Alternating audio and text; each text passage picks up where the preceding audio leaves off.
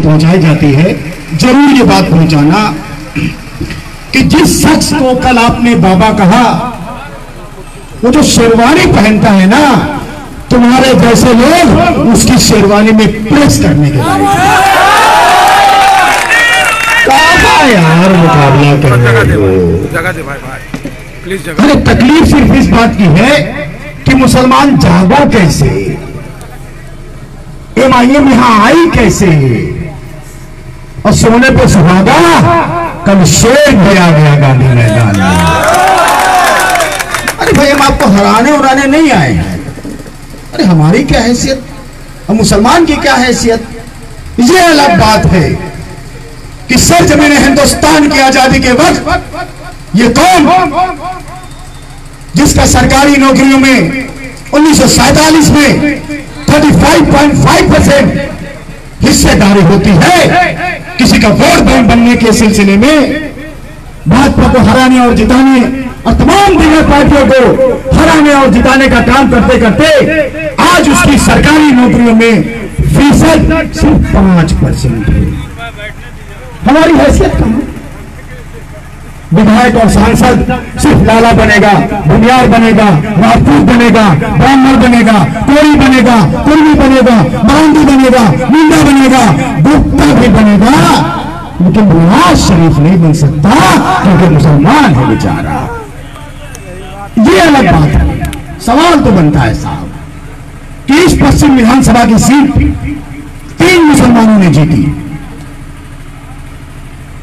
Doctor Ayub Khan Shamsul हक साहब सलाउद्दीन साहब शमसुल हक साहब शमसुद्दीन खान। शमसुद्दीन खान साहब और हमारे मास्टर हसन। बिजली साहब।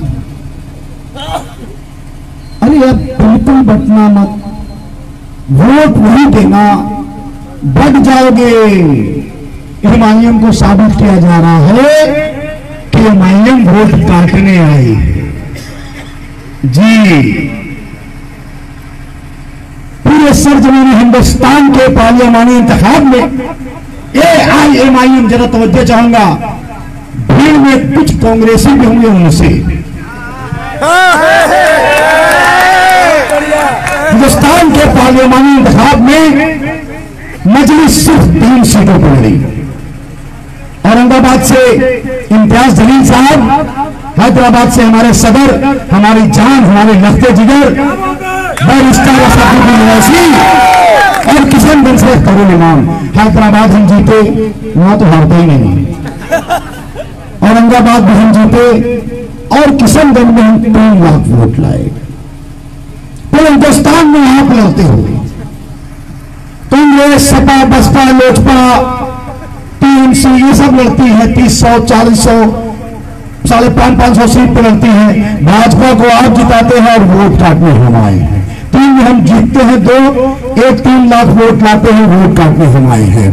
वो पार्टी जिसे पूरा हिंदुस्तान शिवसेना के नाम से जानता है। मैं एक सवाल करूँगा, बाबरी मस्जिद के शहादत में कितने लोग तकलीफ़ में हैं, दोनों हाथ उठा के बताइए। मेरा सवाल, कांग्रेस के इस पश्चिम विधानसभा के लड़ने वाले दलाल से है। एक दिन पहले तक भाजपा के दरवाजे पे रगड़ता रहा रगड़ता रहा, नहीं मिला तो कांग्रेस जिंदाबाद। रातों रात समाजवादी पार्टी का झंडा बदल के तुम कांग्रेस में जाते हो और बोलते हो कि भाजपा की कोई बेटी हम है मेरे साथियों, दोस्तों, पार्लियामानी इंतखाब के बाद अभी महाराष्ट्र में मैंने मस्जिद का ज़िक्र इसलिए छेड़ा कि केस उससे डगने वाला आफ्ताब सिद्दीकी नहीं है। महाराष्ट्र में शिवसेना के प्रवक्ता संजय राउत का बयान नौजवान साथियों ने देखा होगा। बाला साहब ठाकरे का बयान कि बाबरी मस्जिद को हमारे कामरान भाई हमारे शिव सैनिकों ने सत्रह मिनट में शहीद कर दिया। कांग्रेस और एनसीपी ने किसका समर्थन किया? महाराष्ट्र में जो सरकार बनी, सवाल तो बनता है साहब। सरकार आप बना रहे हैं, शिवसेना का मुख्यमंत्री आप बना रहे हैं, और हम यहाँ वोट काटने आए। हम वोट काटने अपने नहीं आए। तमाम मुख्तलिफ़ पार्टियों के मुसलमान नेताओं को डीलर नहीं लीडर बनाने आए हैं। हम आपको लड़ रहे हैं। कुछ जेलों में है कुछ कांग्रेस में है बड़ी कुर्तोता टाइट करके भाषण उषण देते रहते हैं। हम आपको दावत देने आए हैं वक्त है आ जाइए महीन में। कल तो इंशाला नहीं पड़ेगा। मजलिस दबने वाली नहीं है। और मुसलमान जब अपनी आवाज़ उठाए तो आप उस पर इल्ज़ाम लगा देते हैं। 2017 20 मई को जमशेदपुर पश्चिम में उपद्रव हुआ था, जिसे आपने दंगल की संज्ञा दी। मुस्लिम एकता मंच एक सियासी संगठन नहीं था, सामाजिक संगठन था। मैं भी वहाँ पर शामिल था। मेरा भी नाम जबरन डलवाया गया, जबकि मेरे हाथ में एक्सीडेंट हुआ था। बोला गया, हम पत्थर चला रहे थे। तो पढ़े लिखे हैं आप लोग की दुआ से। फ़ौरन लिखा पढ़ी हमने की एसएसपी को दिया, कि इस आज तक सुपरविजन में है। एड़ी चोटी का ज़ोर लगा दिया है आज भी कि आफ्ताब सिद्दीकी को जेल भेज दो। मेरा यकीन है कि जब तक वो पाक कॉर्नर बिगाड़ नहीं चाहेगा, किसी माई के लाल में ताकत नहीं है। कांग्रेस के दलालों कि आफ्ताब सिद्दीकी के बदन का तो रोब तो उठा सकूँ। मुमकिन नहीं है। और मेरा यकीन है, मेरे अल्लाह पर। और आज मैं रियाज शरीफ के लिए दामन फैला के आपसे वोट मांग रहा हूँ, मेरे दोस्तों। मेरे साथियों और दोस्तों, इसी बगान शाही के पप्पू को जो बेचारा कहीं नहीं था 20 तारीख को यहीं से तीन बजे भोर में पुलिस ने दम तक मारा। थाने में बंद कर दिया। मैं सच बोल रहा हूँ, या झूठ बोल रहा हूँ, आप ताकीद कीजिएगा। बाईस तारीख तक उसको दो दिन थाना में रखा। अब बाईस तारीख को जेल भेज दिया। मोहम्मद रसूलुल्लाह बोलने वाला? साढ़े चार साल तक नज़र नहीं आते हो यार। देखिए, विकल्प नहीं था। ये बात तो आप तायद करेंगे। भाजपा को हराना मुसलमान की मजबूरी है। ये अलग बात है। कि भाजपा को हराते हराते मुसलमान एक हुआ कि नहीं हुआ, मेरे हिंदू भाई ज़रूर एक हो गए, दो सीट से 303 पे पहुँचा दिया। एक जमाने के तरी पर आज होम मिनिस्टर बन के बैठे हैं। एक जमाने के गोधरा कांड के अभियुक्त आज बाईसत बरी होकर के हिंदुस्तान के प्रधानमंत्री बने उन्होंने देखिए अपना वादा पूरा किया मेरे मुसलमान भाई, मैं तायद करूँगा। अल्लाह देता है, अल्लाह पत्थर से भी आपकी मुराद पूरी करवाएगा। ये मेरा यकीन है, मेरी मुकदस किताब कहती है। मंदिर, हिंदुस्तान का गयूर मुसलमान, तुम्हारी पाँच एकड़ ज़मीन का मजबूर नहीं है। खैरात नहीं चाहिए मुसलमानों को।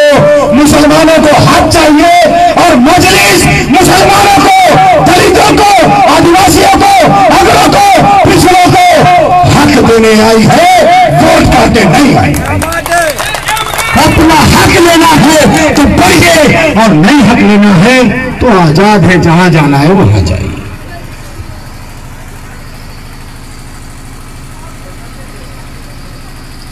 एक नारा बड़ी बढ़िया से लगाता है मेरा दोस्त। ला इलाहा इल्लल्लाह और मोहम्मदुर रसूलुल्लाह। बड़ी बढ़िया नारा है उसका।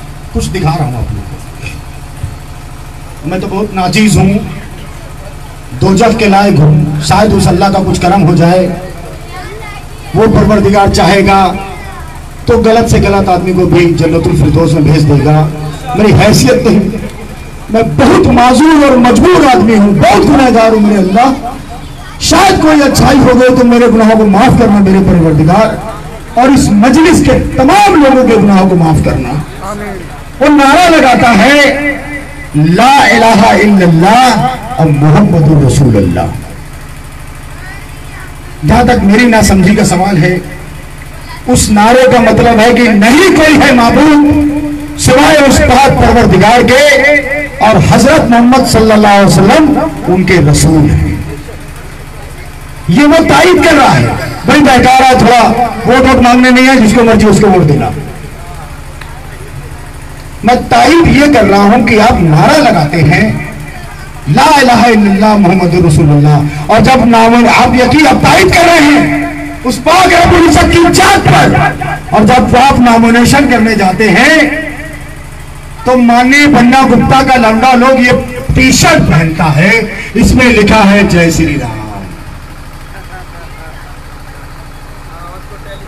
इतफाक से नॉमिनेशन के दिन हम जा रहे थे रियाज भाई की तरफ़ से।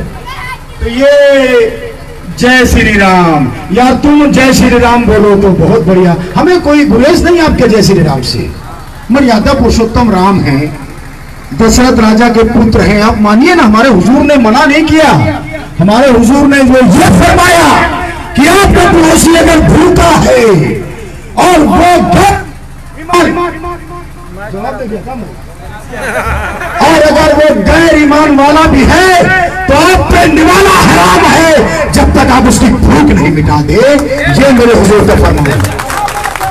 यार, तुम जय श्री राम बोलो तो बहुत बढ़िया। और हम अल्लाह अकबर बोलते रहे तो तुम्हारे पेट में दर्द हो रहा है, तुम अस्पताल चल जा रहे हो। क्या कर रहा है माई बड़ी परेशानी।